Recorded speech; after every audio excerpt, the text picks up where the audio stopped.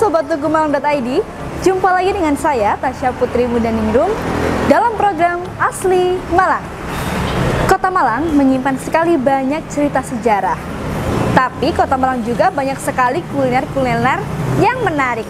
Salah satunya yakni pecel terong yang berada di rumah makan Inggil. Anda penasaran?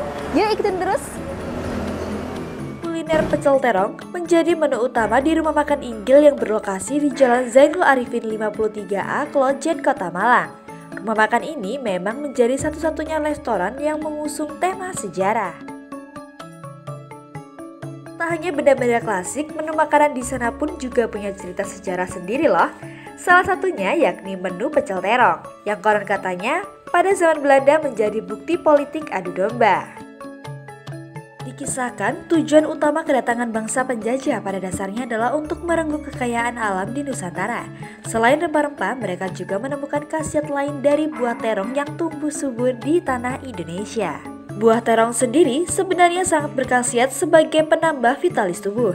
Namun fakta khasiat buah ini oleh tentara Belanda diputar-balikan menjadi pelemah tubuh.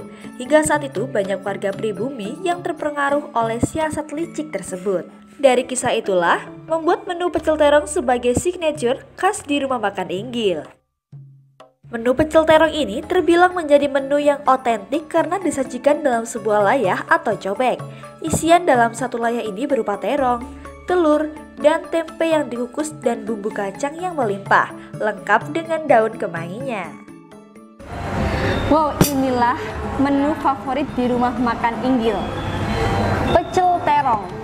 Dari penyajiannya udah menarik nih. Pasti penasaran kan rasanya gimana? Langsung aja yuk kita cobain. Menu pecel terong ini tetap dipertahankan hingga saat ini.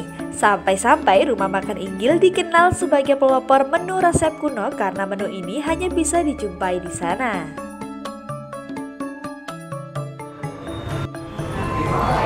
Jika dilihat sepintas, bumbu ini seperti bumbu pecel pada umumnya.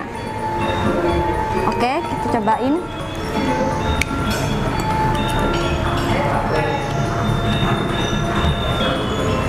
Hmm.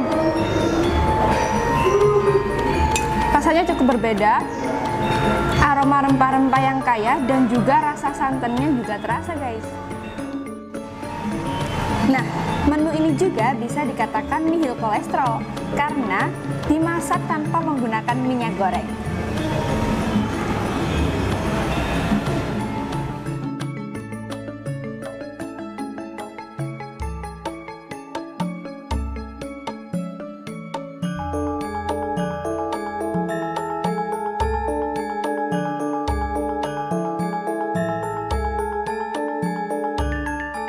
Di sela waktu makan, pengunjung bisa belajar sejarah kota Malang dari banyak benda-benda bersejarah yang dihadirkan di sana.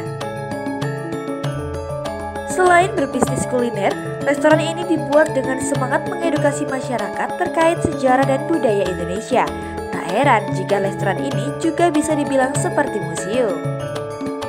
Ya, ya, jadi punya, ya.